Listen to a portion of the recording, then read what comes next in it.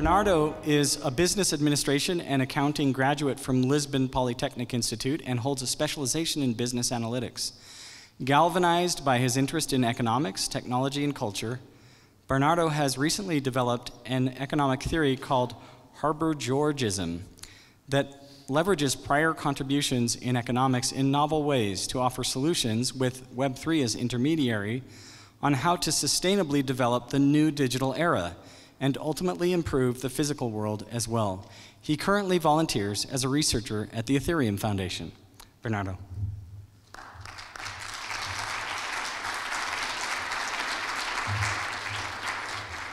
So, so thank you very much, Carl, uh, first of all, for the invitation to speak before this tremendously well-accomplished audience. It's a great honor to be here. Um, and I, will try to make the, the, the, presentation as interactive as possible since we are late in the day. So, so Harber-Georgism. Uh, so yeah, this has been uh, an economic theory that, that I've developed, um, an aggregate economic theory that I've, that I've developed, uh, which uh, is inspired in two prior contributions, contributions in economics, uh, which are Georgism and Harberger taxation. And um, and uh, and with the ultimate mo motif of uh, of uh, um, you know the the ultimate motif of on sorry of using these these two theories in in novel ways to like potentiate um, development in the physical world. And uh, just as a, as a little preface, uh, this wasn't the, the, original idea at all. Like, uh, like a few months ago, I was um, hearing, like all of you were, like uh, hearing all this buzz around like NFTs and metaverse and these kinds of concepts, and I and I was just thinking what what was like the the teleology behind this, like the, what was the the purpose, what was the, the utility of this, and I was getting kind of worried because it uh, seemed like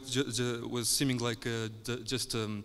a double down on the digital world, and I was thinking that. Uh, since uh, for the last few decades we've been uh, kind of um, lagging behind in the physical world,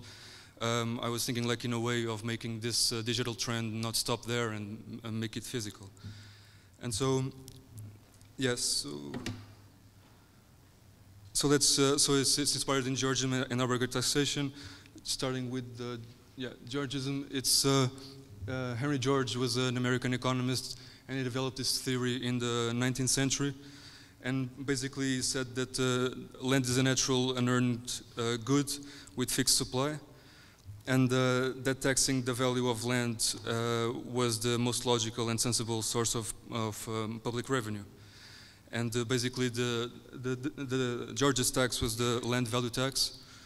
And uh, he argued that uh, we should abolish all the taxes that hinder production and only have this one which would uh, heavily um, tax um, landowners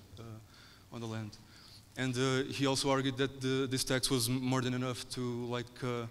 uh, the, the, revenue collected from this tax was more than enough to fund public services and even to distribute UBI for the citizens.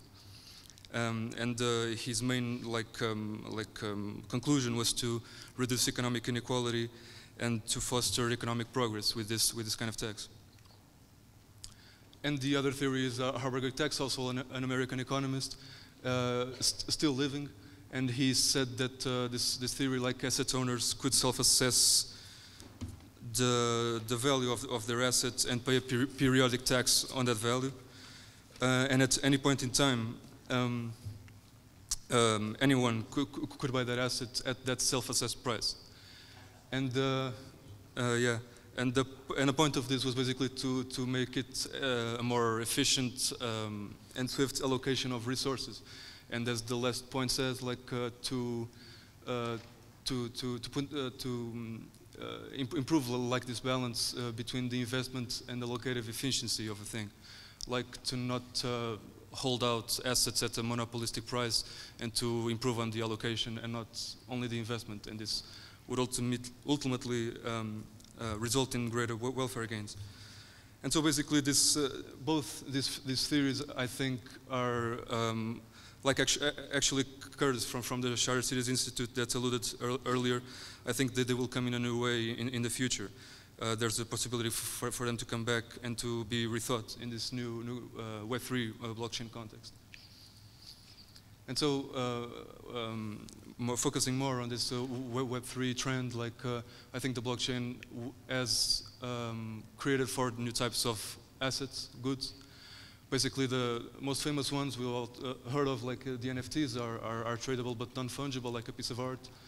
The other one is the non-tradable fungible token, which basically could be a course, which is non-tradable because we're not going to buy courses from one another, but it's fungible because uh, uh,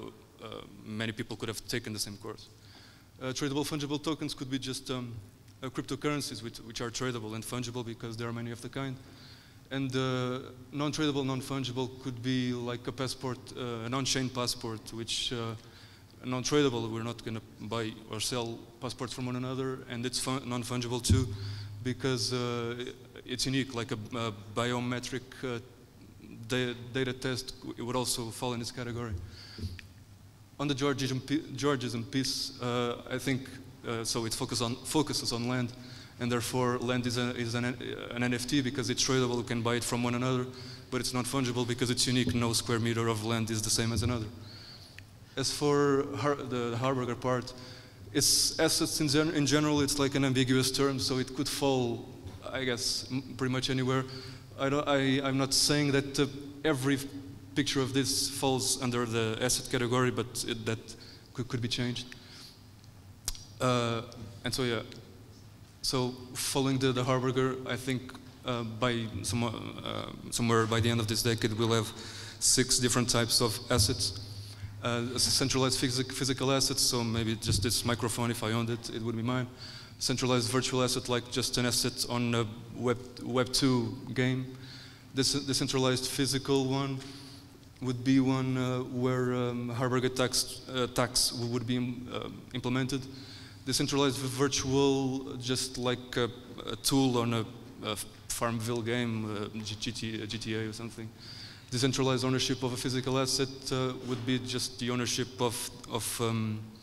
of a digital, digital asset on a, on, a, on a blockchain, and I would own that um, on-chain ownership. Uh, and, and the last one was just, would just be the, the a mix of, of, of the, the, prior two would just be a proxy for the ownership of the physical one, and we, we would have it all also on the virtual.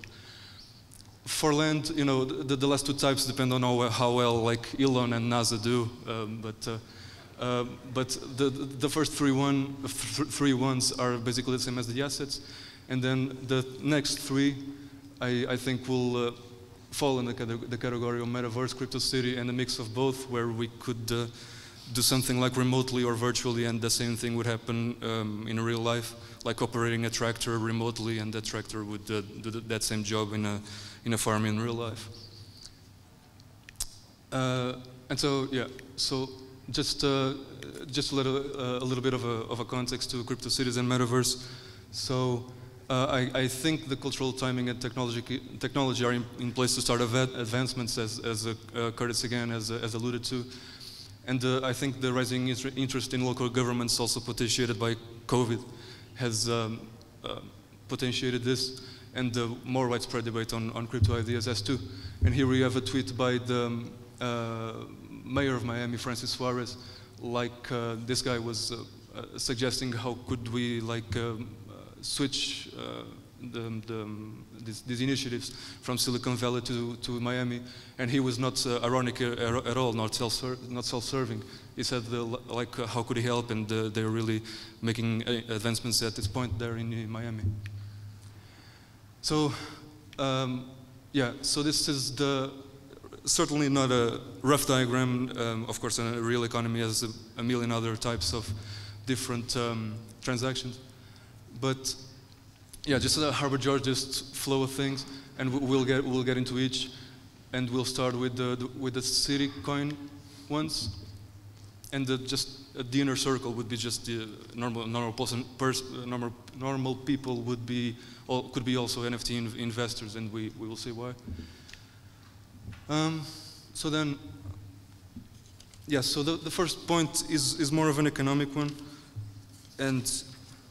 pardon and yes, so like we've seen uh, on the Georgist piece, like uh, a creation of economic alignment could be the creation of, of, a, of, of a city coin, and that city coin would um, um, be, uh, be paralleled to a number, a number of dif different square meters of land or, or, shares would be sort of, of that NFT that, that the CityCoin holders could uh, hold. And on the last two, and the last two points are more like are more incentive incentive wise. So encouragement of pro, pro social activities could be just incentivizing a local business shopping, or uh, more effective waste management, for example. Example. And uh, the last one would just be like uh, we see in the picture, like more pedestrian uh, and environmentally friendly, and uh, contributing to a more um, pleasant city with the more efficient, efficient green public transporta transportation. On the DAO, yeah, uh, just just to preface, like uh, I, I, a DAO can be a million different things, but here is like the city government or government would be this piece, and the business could also be a DAO, but I just uh, dis distinct them just, just for the sake of, of cl clarification. And so just for you to see like um, the both arrows that uh, point to the DAO are, are uh, the Harber-Georgist tax like the Harberger and land value, value tax and the DAO, the uh, output of the DAO would be like the public funding and the, the, U, the UBI. And so the land value tax would allow the DAO to make a return on the investment in the public goods since the, the land value tax received would increase and um, greater, uh, greater, revenues would um, be able to get, uh, be extracted by the DAO. And also to generate revenue to distribute to the community by the UBI uh, part. As for the Harberger tax, is the, uh, more or less as we've seen, uh, it uh, would benefit the community from the improved allocation of the assets from the fairer pricing structure. And uh, here is, is, sort of a formula uh, on the first member, like the inputs and the last one, outputs.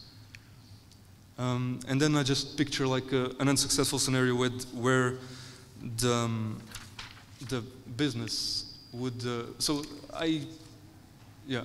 so the, um, you know, nothing particularly wrong with a place like this, but uh, it's just um, um, there's a lot of, of, vacant land. There's a lot of potential uh, of, of, um, of, of, potential to, to, to every, uh, a lot of things could, could, be developed in a place like this, and I argue that. And then I, uh, so as you've seen, like uh, I hope you see well in the back, like uh, the parts that are in gray are like the parts that wouldn't work that are linked to the business side. That's why it's unsuccessful. And um, NFT invest investors could, um, would like uh, crowdfund the business uh, and, and the business uh, could um, like be working in, in the beginning, but if, if uh, they fall behind on the, if, if, if they, they, they start seeing like lag, lagging revenues, they would uh, have to adjust their Harberger tax since it, the Harberger tax would be like um, would be like too high for the revenue that the business was deriving, and therefore they have to they would have to lower the valuation of the business. Um, and, um, and by lowering the valuation of a business, it becomes more propitious to other potential investors to buy that business.